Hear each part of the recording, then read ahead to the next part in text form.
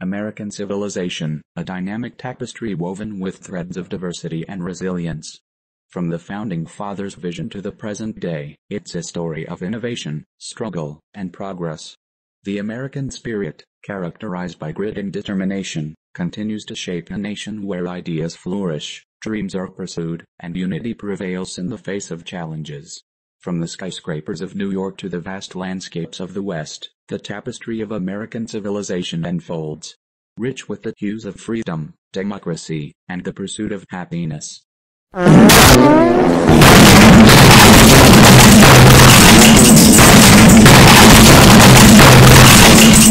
Uh-huh.